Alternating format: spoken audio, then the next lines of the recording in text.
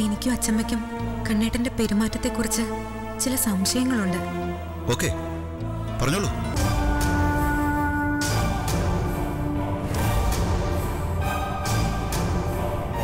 ജീവ ഓർമ്മ വീണ്ടെടുത്തുകൊണ്ട് തന്നെ നിങ്ങളെ തിരിച്ചറിയണമെന്ന് വാശി പിടിക്കരുത്.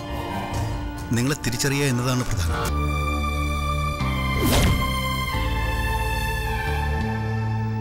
എന്നോടുള്ള സ്നേഹം പ്രകടിപ്പിക്കാൻ വേണ്ടി ഞാൻ പറയുന്നത് എന്തും കേൾക്കാൻ തയ്യാറായി നടക്കുക കണ്ണേട്ടൻ. അവന്റെ കുഞ്ഞിനെ വയറ്റിൽ ചുമക്കുന്ന ഭാര്യയാണെന്ന് പറയാൻ നിനക്ക് കഴിയും. എനിക്കിപ്പോ എല്ലാം മനസ്സിലായി സിദ്ധു അവൾക്ക് സംസാരിക്കാൻ വേണ്ടി ഞാൻ റൊമാന്റിക് ആയ ഒരു അറ്റ്മോസ്ഫിയർ ക്രിയേറ്റ് ചെയ്യണം. ആ അതെ.